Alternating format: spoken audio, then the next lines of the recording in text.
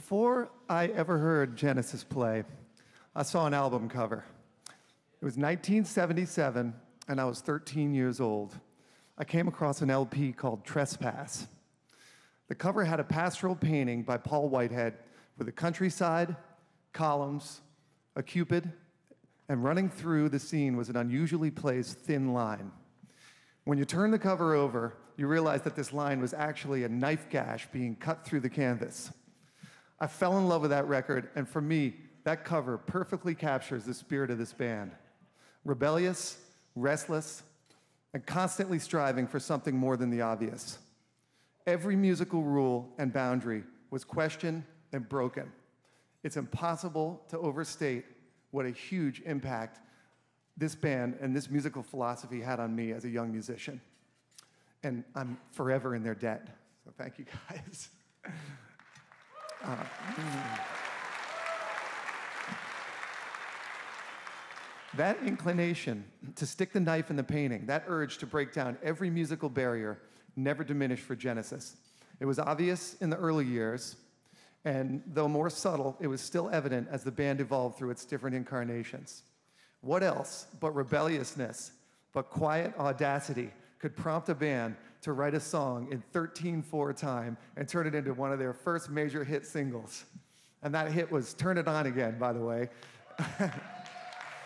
I bet a lot of you here tonight walk down the street humming along in 13 4 time without ever knowing it.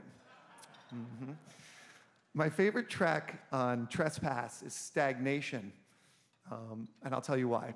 You can hear the lightning strike on that song. You can hear the magic sound of a whole band becoming greater than its members. And that's what this Hall of Fame is all about. It starts off with Anthony Phillips playing a gorgeous seven note guitar melody.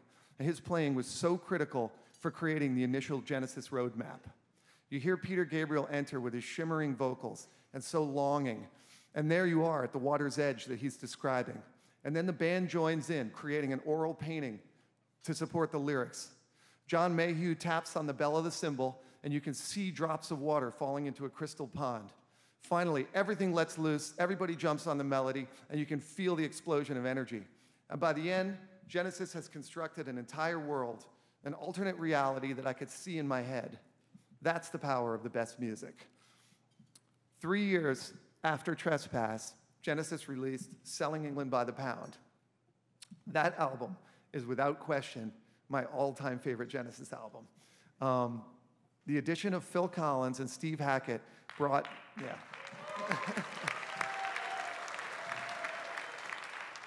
it brought both a vigor and a melodic sense that propelled them into another realm.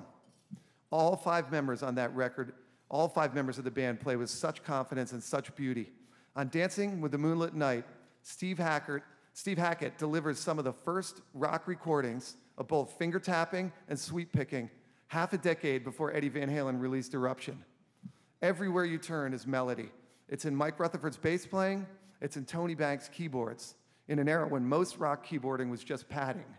And then finally, you have Phil Collins.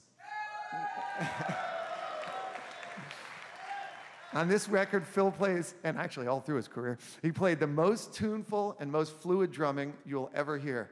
Phil's drums are the only thing that could hold these disparate elements together. More than just glue, his rhythms are the invitation into the song. I think that the pop qualities that emerged later in Phil Collins' career were the very same qualities that made him such a great drummer. Like Ringo Starr and Stewart Copeland and other great pop drummers, he always seemed to be aware that the song came first. It's a very rare quality. As the years progressed, we found out, of course, that Phil is a soulful lead singer.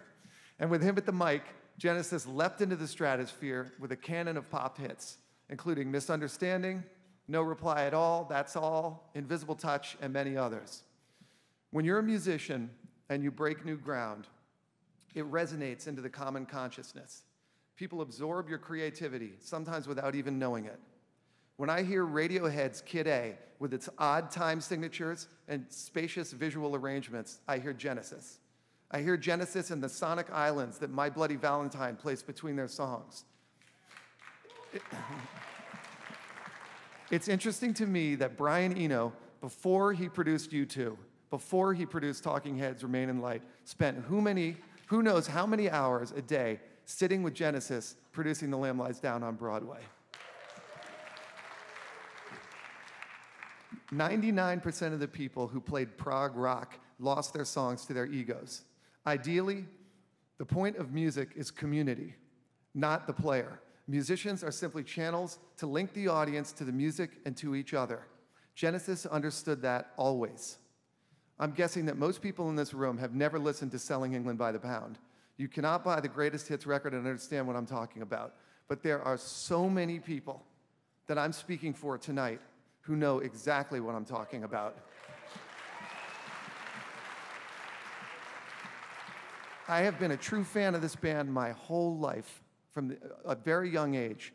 And for those people that I'm talking about, and for myself, this is our moment. And of course, Tony, Michael, Peter, Phil, and Steve, it's yours. So, ladies and gentlemen, please join me in welcoming the quiet rebels of Genesis into the Rock and Roll Hall of Fame.